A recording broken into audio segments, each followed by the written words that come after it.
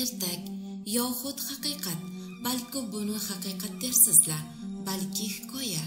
Bir zamonlar ikki sevishgan bo'lgan ekan.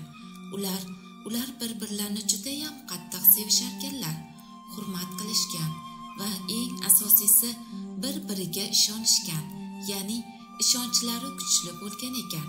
Ular hayotlarida judayam baxtli yashayotgan edilar. Bir kuni yigitga armiyaga ketish uchun chaqiruv qog'ozi kelibdi. Bu xabarni eshitib qiz judayam xafa edi. Ko'zlaridan hech ko'z yoshlari tinmasdi.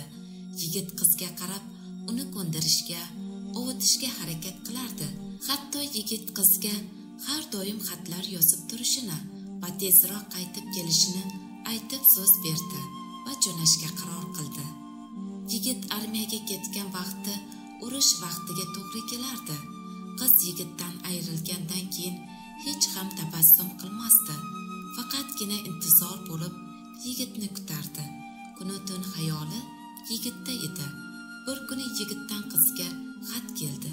Xatda yigit o'z sevgilisiga bo'lgan sevgilisini ahvoli haqida sog'inganini va tez orada qaytishini aytdi. Oradan olti oy o'tib yana bir xat kelardi. Bu xatdayam yigit qaytishi va sevgilisini sog'inganini juda juda sevishini yozgan edi. Shu bilan qiz har kuni yigitni bugun keladi erta keladi deb kutib yashardi. Oradan besh yil o'tib ketdi. Qiz yorini kutib yashardi. Har olti oyda xat kelardi qizga. Bir kuni yana xat keldi. Unda quyidagi so'zlar yozilgan edi. Jonim meni kechir. Men ketayotganimdan keyin og'ir jarohatlandim va sen uchun xatlar yozib qoldirdim. Xatlarimni o'qigan vaqtingda men bu dunyodan ko'z yumgan bo'laman. Meni kechir men seni aldadim. Chunki bu ishni qilmaganimda sen o'z joningga qasd qilgan bo'larding. Meni kechir meni kechir jonim. Seni judayam qattiq sevaman.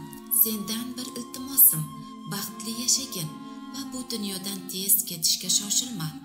Endi men seni kutib yashayman faqat kelishga oshiqmagin men sen bilan har doim yashayman.